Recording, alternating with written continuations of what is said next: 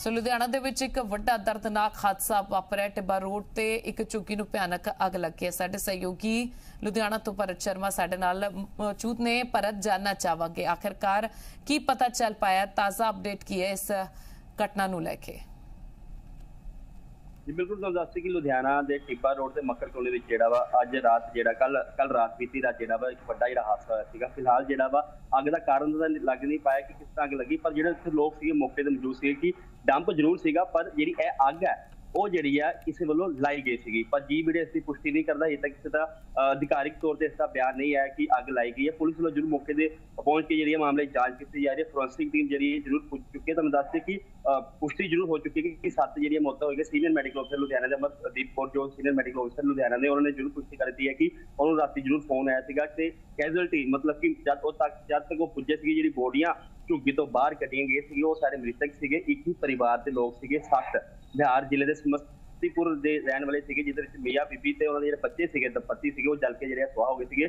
ਬੋਡੀਆਂ ਜਿਹੜੀਆਂ, ਉਹ ਜ਼ਰੂਰ ਮੋਰਚੇ ਵਿੱਚ ਰੱਖ ਦਿੱਤੀਆਂ। ਕੁਝ ਦੇਰ ਬਾਅਦ ਜ਼ਰੂਰ ਕਿਤੇ ਨਾ ਕਿਤੇ ਪੋਸਟਮਾਰਟਮ ਹੋਏਗਾ। ਤੁਹਾਨੂੰ ਦੱਸ ਕਿ ਲੁਧਿਆਣਾ ਦੇ ਵਿੱਚ ਪਿਛਲੇ ਦੋ ਦਿਨਾਂ ਦੇ ਗੱਲ ਵਿੱਚ 4 ਤੋਂ 5 ਵਾਰ ਜਿਹੜੀ ਅੱਗ ਲੱਗ ਚੁੱਕੀ ਹੈ, ਗਰਮੀ ਜ਼ਰੂਰ ਵੱਧ ਚੁੱਕੀ ਹੈ ਤੇ ਜਿਹੜਾ ਅੱਗ ਲੱਗਣ ਦਾ ਦੌਰ ਹੈ, ਉਹ ਜਿਹੜਾ ਸਿਲਸਿਲਾ ਲਗਾਤਾਰ ਜਾਰੀ ਹੈ, ਪਰ ਜਿਹੜੀ ਬੀਤੀ ਦੇਰ ਦਾ ਜਿਹੜੀ ਅੱਗ ਲੱਗੀ, ਉਸ ਵਿੱਚ ਜਿਹੜਾ ਜ਼ਰੂਰ ਕਿਤੇ ਨਾ ਕਿਤੇ ਸੱਤ ਲੋਕਾਂ ਦੀ ਜਿਹੜੀ ਆ ਮੌਤ ਹੋ ਚੁੱਕੀ ਹੈ। ਕਿਤੇ ਨਾ ਕਿਤੇ ਅਸੀਂ ਕਹਿ ਸਕਦੇ ਹਾਂ ਕਿ ਵੱਡੀ ਜਿਹੜੀ ਖਬਰ ਲੁਧਿਆਣਾ ਤੋਂ ਸਾਹਮਣੇ ਆ ਰਹੀ ਹੈ, ਮੀਆਂ ਬੀਬੀ ਸਮੇਤ ਪੰਜ ਬੱਚਿਆਂ ਦੀ ਜਿਹੜੀ ਆ ਮੌਕੇ ਤੇ ਜਿਹੜੀ ਆ ਅੱਗ- ਅੱਗ ਜਿਹੜੀ ਆ ਮੌਤ ਹੋ ਜਾਂਦੀ ਹੈ। ਜੀ।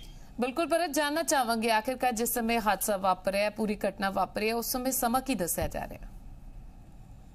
ਬਿਲਕੁਲ ਤੁਹਾਨੂੰ ਦੱਸ ਕਿ ਤਕਰੀਬਨ 1:30 ਵਜੇ 1 ਵਜੇ ਤੋਂ ਲੈ ਕੇ 1:30 ਵਜੇ ਤੱਕ ਜਿਹੜੀ ਆ ਖਬਰ ਸਾਹਮਣੇ ਆਈ ਸੀ ਕਿ ਅੱਗ ਲੱਗਣ ਦੀ ਖਬਰ ਜਿਸ ਤੋਂ ਬਾਅਦ ਅੱਧੇ ਘੰਟੇ ਬਾਅਦ ਜ਼ਰੂਰ ਫਾਇਰ ਬ੍ਰਿਗੇਡ ਦੀ ਗੱਡੀਆਂ ਪਹੁੰਚ ਜਾਂਦੀ ਹੈ ਪਰ ਜਦ ਤੱਕ ਫਾਇਰ ਬ੍ਰਿਗੇਡ ਦੀ ਪਹੁੰਚਦੀ ਹੈ ਝੁੱਗੀ ਜਿਹੜੀ ਆ ਸੜ ਕੇ ਅੱਗ ਨਾਲ ਸੜ ਕੇ ਸਵਾਹ ਹੋ ਗਈ ਸੀਗੀ, ਪਰ ਅੱਗ ਤੇ ਜ਼ਰੂਰ ਕਾਬੂ ਪਾ ਲਿੱਤਾ ਗਿਆ ਸੀਗਾ, ਪਰ ਜਦ ਤੱਕ ਉਹ ਸਿਵਲ ਹਸਪਤਾਲ ਦੇ ਡਾਕਟਰਾਂ ਦੀ ਟੀਮ ਪੁੱਜੀ, ਪੁਲਿਸ ਪੁੱਜੀ ਜਾਂ ਫਾਇਰ ਬ੍ਰਿਗੇਡ ਟੀਮ ਪੁੱਜੀ, ਤਦ ਤੱਕ ਜਿਹੜੀ ਆ ਮੌਤ ਹੋ ਚੁੱਕੀ ਸੀਗੀ, ਡੈੱਡ ਬੋਡੀਆਂ ਜ਼ਰੂਰ ਬਾਹਰ ਕੱਢਿਆ ਗਿਆ ਸੀਗਾ, ਜਿਸ ਤੋਂ ਬਾਅਦ ਕਿਤਨਾ ਕਿ ਲੋਕ ਉੱਥੇ ਲੋਕ ਜਿਹੜੇ ਸੀ ਇਕੱਠੇ ਹੋਣੇ ਸ਼ੁਰੂ ਹੋ ਚੁੱਕੇ ਸੀਗੇ ਪਰ ਤੁਹਾਨੂੰ ਦੱਸੀ ਜਦੋਂ ਅੱਗ ਲੱਗੀ ਤਾਂ ਉੱਥੇ ਕੋਈ ਵੀ ਮੌਜੂਦ ਨਹੀਂ ਸੀਗਾ ਜੋ ਲੋਕ ਕਹਿ ਰਹੇ ਸੀਗੇ ਕਿਉਂਕਿ ਰਾਤ ਦਾ ਸਮਾਂ ਸੀਗਾ ਸਾਰੇ ਸੁੱਤੇ ਹੋਏ ਸੀਗੇ ਪਰ ਵੱਡੀ ਜਿਹੜੀ ਖਬਰ ਸਾਹਮਣੇ ਆ ਰਹੀ ਰਾਤੀ ਅਹ, ਡੇਢ ਤੋਂ 2 ਵਜੇ ਜਿਹੜੀ ਆ ਖਬਰ ਜਿਹੜੀ ਸਾਹਮਣੇ ਆਈ ਸੀਗੀ ਲੁਧਿਆਣਾ ਦੇ ਟਿੱਬਾ ਰੋਡ ਤੇ ਮੱਕੜ ਕਲੋਨੀ ਦੇ ਵਿੱਚ ਜਿਹੜੀ ਆ ਬਿਲਕੁਲ ਪਰਤ ਜਾਂਚ ਹੋਣੀ ਵੀ ਚਾਹੀਦੀ ਹੈ ਜ਼ਰੂਰੀ ਹੈ ਕਿਉਂਕਿ ਝੁੱਗੀ ਹੈ ਕੋਈ ਪੱਕਾ ਘਰ ਵੀ ਨਹੀਂ ਸੀ ਕਿ ਉਸ ਥਾਂ ਤੋਂ ਕੋਈ ਬਾਹਰ ਨਹੀਂ ਜਾ ਸਕਦਾ ਸੀ ਮਾਸੂਮ ਸੀ ਬੱਚੇ ਸੀ ਪਤੀ ਪਤਨੀ ਸੀ ਖੁਦ ਨੂੰ ਬਚਾ ਸਕਦੇ ਸੀ।